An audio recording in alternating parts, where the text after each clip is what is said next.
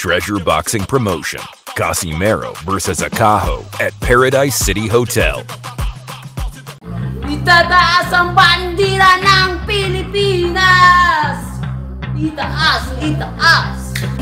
Yo! Quadruala Street Time World Champion ang angas ng Pinas Batang Urmok John Rel Casimiro Guys, kung bago lang kayo sa YouTube channel na to Uyod Boxing Fanatics So ano pa hinintay nyo? Mag-subscribe na! Let's go! Hello, hello, hello, hello, hello, hello, hello.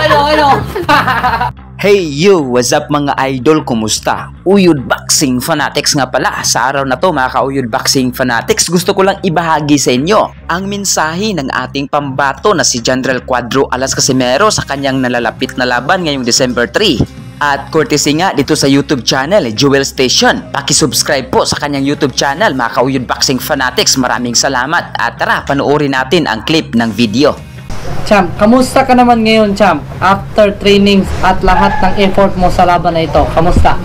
Ah, ngayon guys, ah, sobrang excited na kami sa paparating naming laban ngayong December 3. So, ngayon, timbang na lang yung inano natin at sobrang ganda na yung kondisyon natin ngayon. At nasa ano na tayo, 101%. So, now, one week na lang laban na. So, so very excited talaga. Ipapakita ko sa buong mundo yung pagbalik ko ngayon, eh, gutom na gutom kasi isang taon ka hindi lumalaban, eh, gusto mo magpapakita ang gilas, eh, alam mo naman yung mga naninira din sa atin.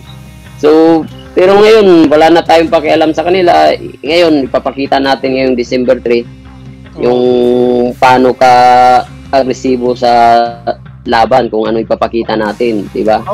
Yo! Quadruala Street Time World Champion ang angas ng Pinas Batang Urmok John Rel Casimiro Guys, kung bago lang kayo sa YouTube channel na to Uyod Boxing Fanatics So ano pa hinintay nyo? Mag-subscribe na! Let's go! Hello, hello, hello, hello, hello, hello, hello, hello.